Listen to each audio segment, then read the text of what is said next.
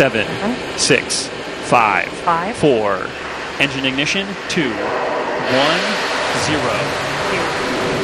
Relay and liftoff. As the countdown to Mars continues, the perseverance of humanity launching the next generation of robotic explorers to the red planet.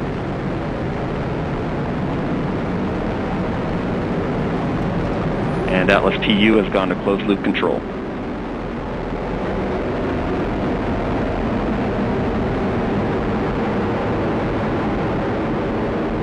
Coming up on 30 seconds into flight, the RD-180 is throttling down as expected. Engine response looks good. This will be the ninth robot that we land on Mars.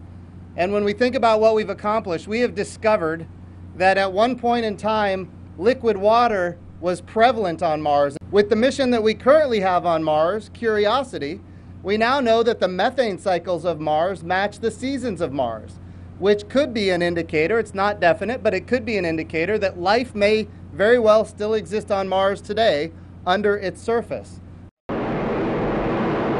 And Mach 1, Atlas 5 is now supersonic.